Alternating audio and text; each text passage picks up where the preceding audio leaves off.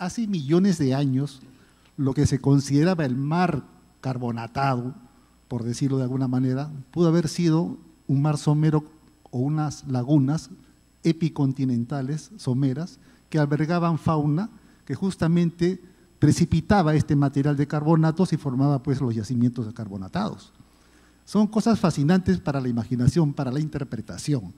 los geólogos tenemos que ir al campo, tenemos que evaluar los afloramientos, medir, tomar datos, información y procesarla de acuerdo a nuestra cosmovisión para ponerla a disposición de quienes están interesados en sacar provecho económico y eso repercute en la sociedad.